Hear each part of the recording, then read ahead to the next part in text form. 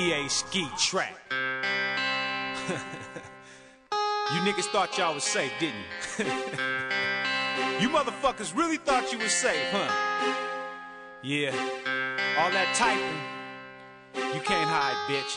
Now what do we have here? The same niggas reppin' the bay, still rapping the game, took a step back in the way. All the stress from the BS was tucked away, and that's enough to make my niggas say, fuck the bay. And hey, can you blame them when everybody complaining? The picture they tried to paint him was cocky, but that just ain't him. It drained him, and it made him see how they try to taint him. They try to take and contain him and make him cater to layman's, but that ain't my forte.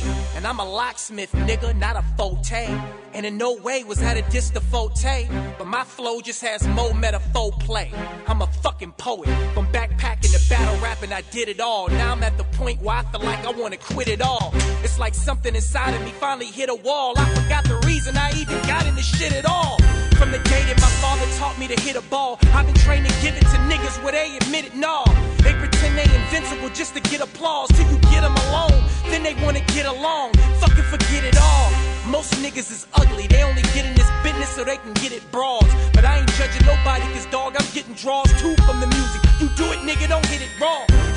You walk, you walk and whistle, spark and fizzle. You wanna rap, but you can't compete at all. You're not unique at all. Scratch away the surface and you a scary little bitch underneath it all. Yeah, nigga. We through with this shit, nigga.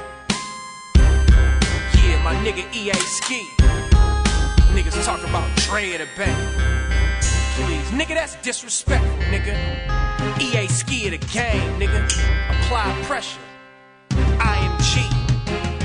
amar.